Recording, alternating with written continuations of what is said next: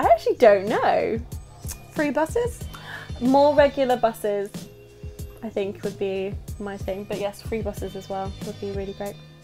Definitely more frequent buses because there's barely any of them, and yeah, that's all I can really think about at the moment. Yeah.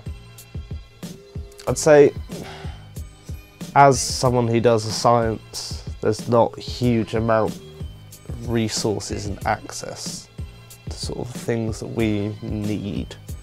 But because it's obviously fo- uni focused on a lot of other subjects, they get priority over stuff like books in the library, all these articles, all this kind of stuff. So yeah, I think resources for courses that don't have a lot of resources would be lovely. I'd probably change the boy to girl ratio because there's so many more girls than guys there that it's sometimes a bit difficult to deal with. Like girls can be bitchy as hell. And so it just it becomes quite difficult to deal with. I get on with guys a hell of a lot better. And so sometimes I just find myself completely out of my depth with girl talk.